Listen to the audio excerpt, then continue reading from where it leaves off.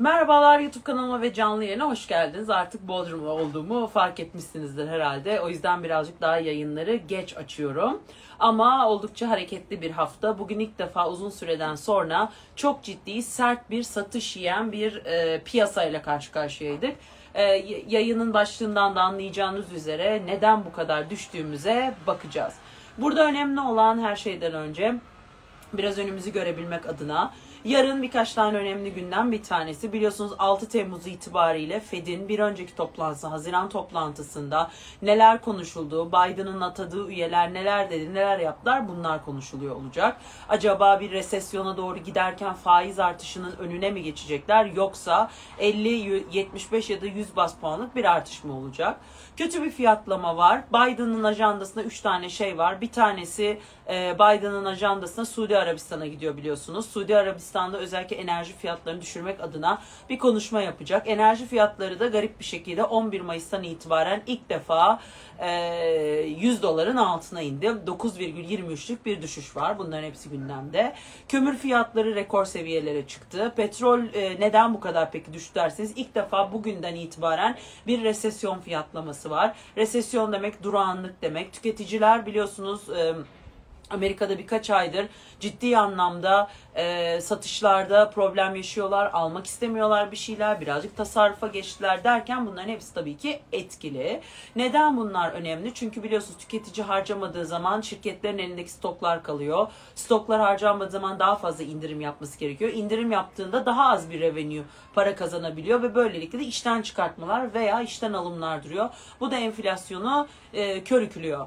Bugün S&P 500, Nasdaq biraz daha e, teknoloji hisseleri daha az düştü ama mesela artık FANG dediğimiz Facebook, Amazon, e, Netflix, Google'ı o içine alan e, teknoloji hisseleri artık bir e, büyüme hissesi değil daha çok bir değer hissesi olmaya dönüşüyor. Yani büyüyecek büyüyecek hep diyorlar ya şöyle bir şey var hani işte e, 100 dolara aldın 1000 dolar olacak büyüyecek işte al bilmem ne de ki Amazon'un da hisselerinde bu vardı. Şimdi e, S&P 500, Nasdaq ve Dow Jones'ta da bir değişim var. Artık teknoloji hisseleri değer hisseleri olma yolunda. Bu da biraz diplere geldiklerini düşünüyoruz.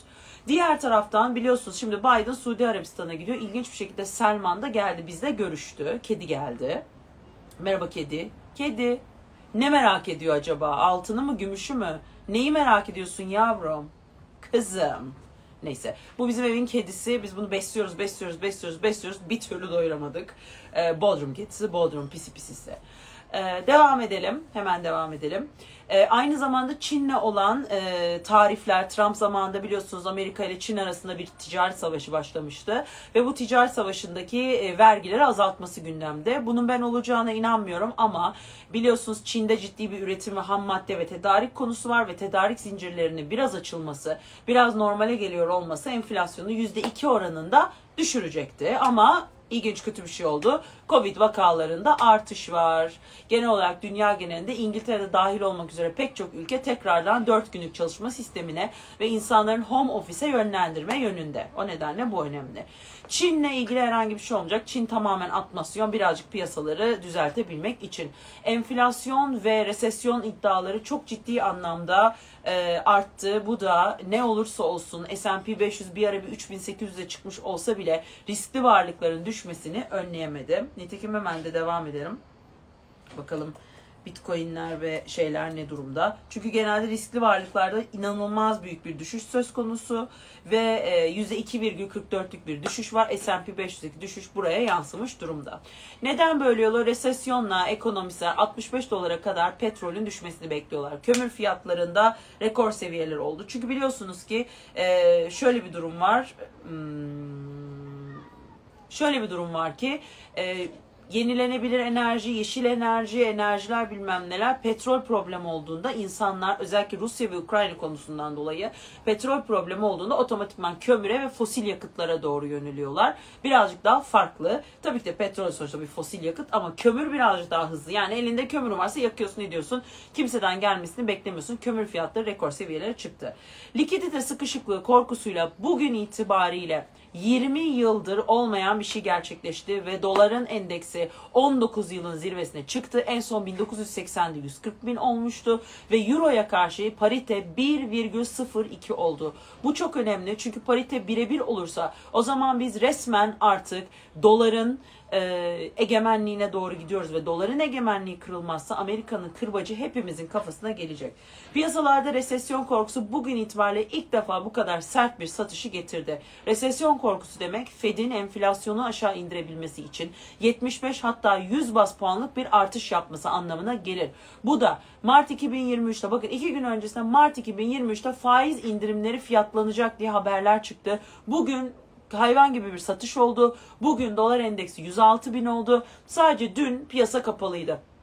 Dün biz e, resesyon iddialarını yaptık. Bu hafta resesyon haftası olacak. Bu hafta önemli. Hele de yarın eğer ki e, Biden'ın ekibi bilmem ne Fed bu kadar e, bu kadar sert bir şekilde ben arttıracağım, enflasyon benim her şeyim, enflasyon düşmediği sürece ister tüketici ölsün, ister yarılsın de, derse o zaman arkadaşlar dolar endeksinin 112 bine kadar çıktığını görebiliriz. 106 ile 110 aralığı önemli ve şu anda gerek Bitcoin, gerek Ethereum, gerek riskli varlıklar ciddi anlamda problemli ve satış yediler. Bugün alınıp yarınki 6 Temmuz'daki veriler üzerinden bir aralık yakalanıp alsatla zarar kapatılabilir. Ve ben şimdi artık biliyorsunuz ki ben Türk borsalarında Bitcoin öneriyorum. Bugün itibariyle 16.96'ya kadar çıktı dolar. 17.05'e kadar çıktı. Dolar endeksinden alıyor. Arkada kamu bankasından rezervler satılıyor. Bunu net bir şekilde biliyoruz. Bizim enflasyon son derece yüksek. Bizim gibi dışarıya bağımlı olan ülkelerin çok ciddi anlamda problemli bir yere gidiyor. Bir tek bize ne faydası olacak? Merkez Bankası söylediği tek bir şey faydalı olacak. Enerji fiyatları düştüğü için enflasyon gerileyecek. Resesyon eğer yarından itibaren daha öne çıkmaya başlarsa o zaman bize petrol fiyatlarının yavaşlamasından dolayı enflasyon %40'lara kadar gerilebiliyor. Bu bir hükümet başarısı değildir. Bu tamamen piyasadaki resesyonun, bugün düşen enflasyonun kendine geldiğinde çok sert bir şekilde artması anlamına geliyor diyebilirim. Sabah saatlerinde doların yükselişiyle ABD piyasalarının açılışıyla sert bir şekilde emtia piyasanın yansıdı. Neler oldu? Kömür fiyatları rekorda dedim. Gümüş %4 düştü. Altın %2 düştü. Dolar endeksi 106 binde. Bitcoin ve Ethereum özelinde çok iyi haberler gelmesine rağmen yine göreceli olarak arayı hareketlendirecek şeyler gelmeye başlamasına rağmen Celsius ödemelerini yaptı. Üç parçada ödemelerini yaptı. Yine ödemeleri devam edecek. Aynı zamanda e, yeni yeni alımlar var. Yeni yeni şirketler, batan şirketleri satın alıp aynı batan şirketleri kötü zamanda toplamak gibi konular var. Bunlar kripto özelinde hareketlilik olduğunu, 1-2 sene içerisinde özellikle 2024 yarılamasına doğru gittiğimizi etkili olacağını gösteriyor. Ama şöyle bir durum var ki ee, gerçekten kötü. Bu arada gelişen ülke kur endekslerindeki kayıplar %2,5'i buldu. Bu hareketle dolar TL'de 17,05'e yükseldikten sonra 17 seviyesinin altında dengelenme çabasında. Şimdi kur korumalı mevduatlarla ilgili haberler var. Bu eğer enflasyon konusu kötüleşecekmiş gibi gözüküyor ve özellikle biliyorsunuz Kasım ayında da bir resesyon olmaması lazım. Çünkü bir erken seçime doğru gidiyor. Demokratlar bir bütçeyi arttırmayla ilgili bir reconciliation bili var. E, bir kanun tasarısı falan var. Ama ilginç bir şekilde e, demokratların özellikle senatoda e, öne geçmesini sağlayacak isimlerden bir tanesi 82 yaşında bir senatör ve düşmüş ve kalçasını kırmış. Bu demek oluyor ki adam düzelmeden Ağustos ayında bu senato temsilci camisi evine gitmeden bu yasanın geçmesi imkansız. Bu Biden'ın elini çok zorlayacaktır. O nedenle Biden Fed'e özellikle ben şimdi bu yasayı geçiremedim birazcık komuta edemedim tüketicim korkuyor. O nedenle sen git daha fazla enflasyonu düşürmek için agresif ol diyebilir ya da frene bas diyebilir. Ama anladığım kadarıyla FED çok fazla bir öncü almayacağı için herhalde birazcık e, şey konusu olacak. Hani sen git ve e, gaza bas faizleri arttır. E, Mart 2023'te indirime başlayabilirler ama şu anda fiyatlamalara baktığımız zaman resesyon önümüzdeki 6 ay boyunca devam edecek ve girilecekmiş gibi gözüküyor. E, Temmuz'un ikinci haftasından yani önümüzdeki hafta bittikten sonra şirketlerin bilançoları gelecek. Dün de söyledim. Ama bugün özellikle 6 Temmuz verilerine giderken ki 6 Temmuz'da bana göre negatif bir hikaye çıkacak. Yarın o nedenle dolarda 17.40'ın üzerine bir anda bir sıçrama görebiliriz ya da haftanın sonunda görebiliriz. Ama bu hafta tahvil faizleri dün düşmüşlerdi. Bugün yine kendilerini toplamaya başladılar. Dolar endeksi arttığında tahvil faizlerini de yanında çeker. Bu demek olur ki dolar güçlü hikayesi devam edecek. Bu demek olur ki Amerika nereye yanaşırsa orasını faydalandıracak. Ve bu enflasyon konusu Amerika'dan başladı Avrupa'ya. Avrupa şu anda Almanya mesela belli açıklar yapıyor. Türkiye İtalya ile bir anla 9 tane anlaşma imzalamış. Tamam çok güzel ne ala mualla ama yetmez. Gerçekten bugün bu satışların yeniyor olması şunu gösteriyor ki riskli varlıklarda alım için Aralıkta alsat yapmak için iyi bir fırsat. Dolarda doların yükseliyor olması, resesyonun geliyor olması emtia fiyatlarını patlatmış durumda. Altında 1637 diye bir dipten bahsetmiştim hatırlarsanız. İşte bu bir hafta içerisinde eğer negatif bir haber gelirse Şubat'ta şu çıktı, Rusya Ukrayna'ya bunu yapıyor, bunu yapacak, bunu edecek gibi en ufacık bir sürtüşmeyi ve emtia fiyatlarında petrolün bir yüzde on daha düşmesini sağlayacak bir şey olursa geçmiş olsun. Dolar endeksinde 111 bini görürüz. Do altında da 1750'nin altına çakıldıktan sonra 1725, 1720 bilmem ne. 1825 üzerinde kapanmadığı sürece altında bir yükselme olmaz. Resesyon şöyle işledi. Geçtiğimiz pandemi döneminde de bilmem ne de de. Önce bir altında bir rekor denemesi olur. Eğer altın şahse o yolda kafasına yerse o zaman kendini çıkartamıyor. Bizde dolar kuru yükseleceği için gram altın her halükarda artacak. Nerelerden alınabilir? 1700 bu seviyedeyken alınıp biraz daha aşağı düşünde biraz daha biraz daha maliyetler indirilerek alınabilir.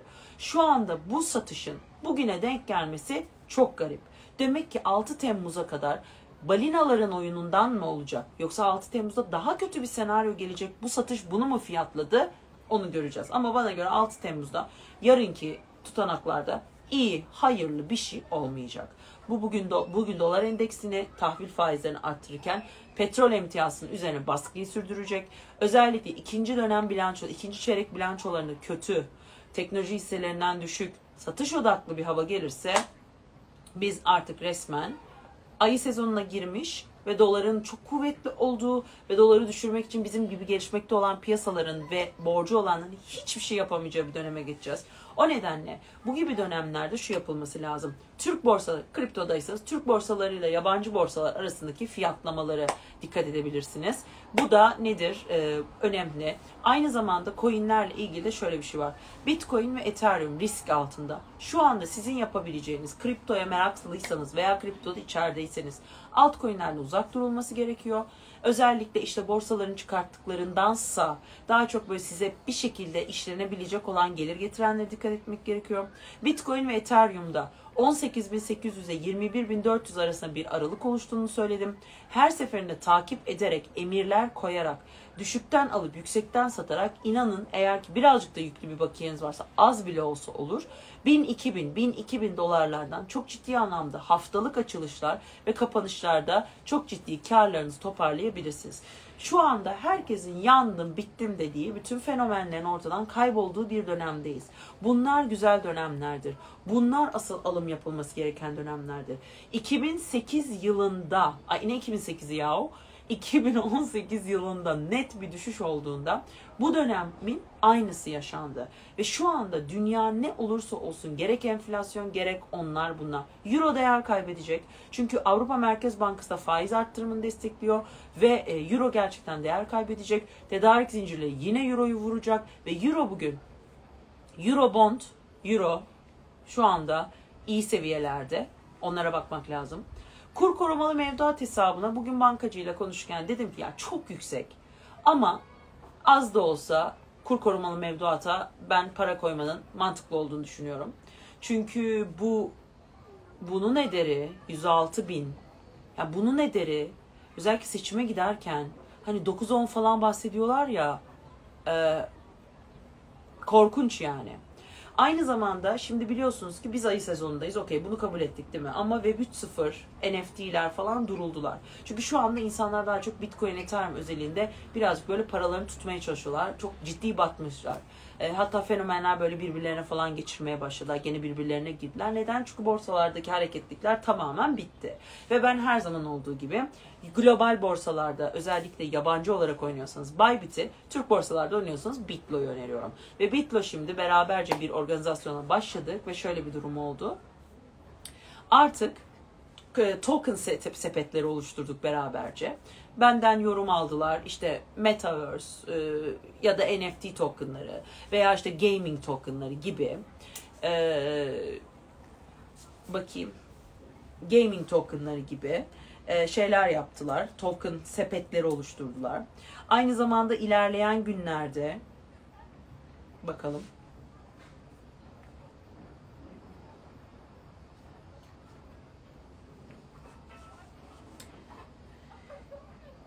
Şimdi Seek soruyorsunuz. Seek biliyorsunuz ki bir aslında meta coin'i. Hemen bakayım aşağıda gördüm diye. Seek VR.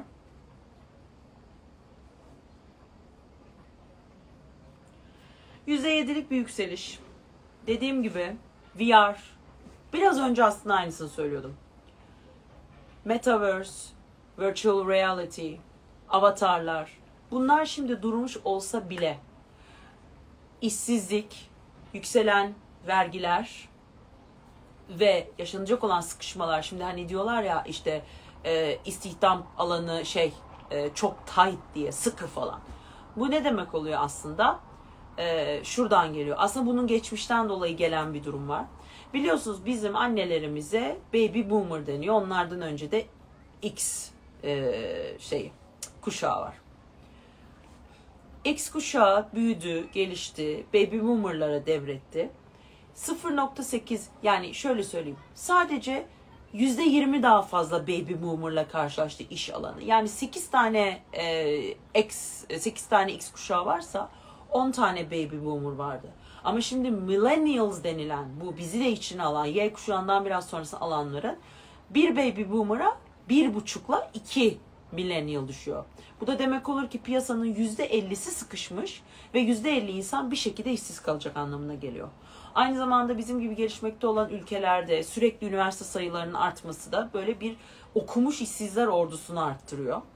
O nedenle bu durum olunca genel olarak baktığımızda işler e, yapay zekayla ki bankacılık sisteminde bu konu kullanılıyor. Yapay zekaya ve farklı yönlere doğru çekilecek anlamına geliyor. Böyle olunca da ne oluyor? Alternatif virtual reality, insanlara e, yeni bir hayat sunma. Çünkü kripto aslında bugün sizin yaşamak istediğiniz hayatın, yaşadığınız hayatın dijital yansıması. Metaverse bugün sizin yaşadığınızın dijital yansımasının bir alternatif yansıması. Siz oraya istediğiniz kişi, istediğiniz e, yöntem olarak gidiyorsunuz. Ve burada ne oluyor? İnsanoğlu bugün yaşadığı karmaşalar, sıkıntılar, devlet liderlerinin işte istediğinin olmaması, bir kısmın daha diktatörlerle sıkışmış olması, diğerinin olması gibi şeylerden dolayı zaten sıkışmış durumda. Bugün Türkiye genelinde yolda yürürken psikolojisi düzgün bir kişiyi bana gösterin. O yüzden ne yaptık? Magazine sardık, yatırımcı psikolojisi, yatırımcı psikolojisi korkunç bir durumda. Pozisyon taşımak zor vesaire vesaire. O zaman ne oluyor? Metaverse, gaming, bizim kafamızı uyuşturacak. Uyuşturulmamış olan, agresif, önüne bakmak isteyen insanların işini alabilecek olan o robotik endüstri artacak. Bugün o zaman siz eğer robotik endüstriyle bir şey kurduysanız o zaman Çin onu bunu bilmem neydi dese bile siz eğer robotlarla yapay zeka ile bunu yapıyorsanız Xi bunu demiş, Biden bunu demiş, Biden ölmüş, Kamala Harris gelmiş. Umurunuzda olmaz. Çünkü siz otonomsunuzdur. Bugün Türkiye'deki büyük üretim şirketlerinin SAP'yi kullanmasının en ana nedeni yapay zekanın ve otonom sistemlerin bir şekilde bizden daha iyi çalışıyor olması. Bunun gelecekte kötüye kullanılacağı zaten insanoğlunun olduğu her yerde %20 mutlaka kötülük vardır. Atom bulunurken atom bombası mı düşünüldü, bilimde bir gelişim mi düşünüldü? Ya da ilginç bir şekilde her şey dururken, bütün piyasa düşerken neden sağlık hisseleri artıyor? Piyasaların her zaman bizden daha çabuk bir şeyleri fiyatladığını net bir şekilde biliyoruz değil mi arkadaşlar? O zaman ne oluyor? Demek ki burada bir manipülasyon, spekülasyon var. Bugün bir insanla tanıştığınızda kriptodan uzak durmak için altyapı, altyapı. Niye kardeşim? Sen adalet kılıcı mısın? Sen altyapı uzmanı mısın? Bırak insanlar paralarını kazansınlar. Doğru yatırım yapan, araştırabilen şey yapsın. Bize diyorlar ki çok kolay para kazanıyordu. Bu dünyada hiç kimse kimseye e, bir boncuk ya yani ben şu lambanın şu kablosunu bile vermezler bedavaya. O yüzden kolay para kazanma diye bir şey yok. Her şeyin arkası emek, her şeyin arkası öngörüler. O yüzden bugün geliyor birisi benim öngörümü bilmem ne mi bilmem ne mi e, şey olmayınca e, yapmayınca baktığınız zaman hemen böyle şey oluyor. İşte aa beni beni işte şey yapmadı, beni boşladı falan. Hayır. Çünkü insanlar bugün kolay yoldan para kazanmak istiyorlar ve bir alternatif evrende yaşamak istiyor. O nedenle Metaverse yok manalar, sandboxlar, NFT'ler falan 2024 sadece bu iş beklemeye düşer. Beklenenin kazanacağı beklerken kendini geliştirenin kazanacağı bir dönemdeyiz arkadaşlar. O yüzden ben Mesut Uyanık Akademi'yi bu dönemde kuruyorum. O yüzden Bitlo'ya dedik ki hep beraber gel tokenları yapalım, sepetleri yapalım. İnsanlar en azından kafaları karışıkken bir bildiklerinin önerisiyle bir şey alsınlar. Benim işim sizi yönlendirmek. Yani ben derim ki bak burada arkadaşım bir alternatif var derim. Ondan sonra sizi başka yerlere yönlendiririm veya orada kalmanızı sağlayabilirim. Ama nihai tüketici sizsiniz. Bugün nihai tüketicinin bitmiş durumda kafası. Çünkü enflasyon baskısı. Bugün kiralara baktığınız zaman gayrimenkul, kira bilmem ne. Baktığınız zaman kiranızı %25 oranında arttırabiliyorsunuz. Ama ne oluyor? E, sadece enflasyonun %44 oranında konut fiyatlarında artış var. O zaman ne oluyor? Sizin paranız iniyor. O yüzden Meta ve bugün teknoloji hisseleri gerçekten düşük ve teknoloji hisselerinin growth yani büyüyecek olan hisselerden değer hisselerine dönüyor olması bu işin teknoloji üzerinden kurtuluşun geleceğini gösterir. Biz Big Reset denilen makalelerde yazılan Big Reset geldi. Biz şu anda resetleniyoruz. Ve bu hikayenin biraz daha düşük olanının, fakir olanının, çöp olanının yıkılması için daha uzun sürmesi gerekiyor. O nedenle biz bu Kasım ayında, bu Ekim ayın, Eylül-Ekim ayından itibaren resesyon, enflasyon ve Covid ile mücadele etmeye başlayacağız ve hiç kolay olmayacak. 2023 Mart'ına kadar biz bunlarla uğraştıktan sonrasında kendimizi toparlayabileceğiz. O sırada FED faiz artacak, Avrupa Merkez Bankası faiz artacak ve dolar çok ciddi yükselecek. 21-22 ile 27-28 arası Kasım ayında benim 27-28 beklentim olduğunu söyledim. Bir o hal oluşumu, bir insanları birbirine sokmak gibi bir şey yapmazlarsa seçim olacak. Ama seçimin olmama ihtimali de var. Ve çok ciddi anlamda ekonomi politikalarında artık ortodoks bilmem ne bilmem ne savaşlarından çok farklı yerlere gelmemiz gerekiyor. Bakayım yandırıyor ya. Avax, Ship, TLM hepsinden milyonlarca aldım. Okey Allah bereket versin. Ama dediğim gibi o token sepetlerini kontrol etmenizi öneririm.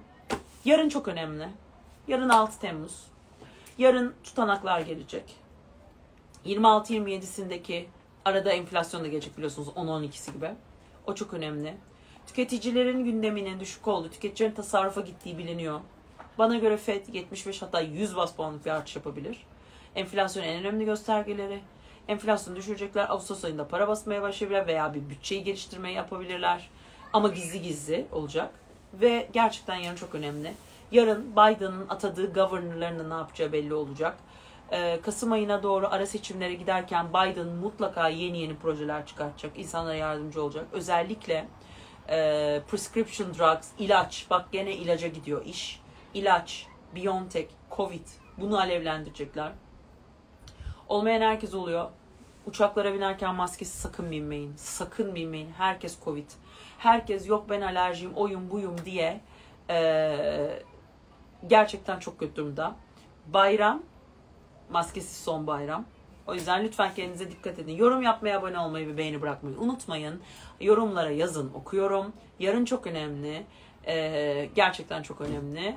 Kur korumalı mevduat iptal olur mu? Valla 1 trilyon lira var içinde insanların ne paralar ödendi. Bugün siz 500 bin lira yatırdığınızda sadece 3 ay önce girdiğinizde size kazancı 98 bin lira.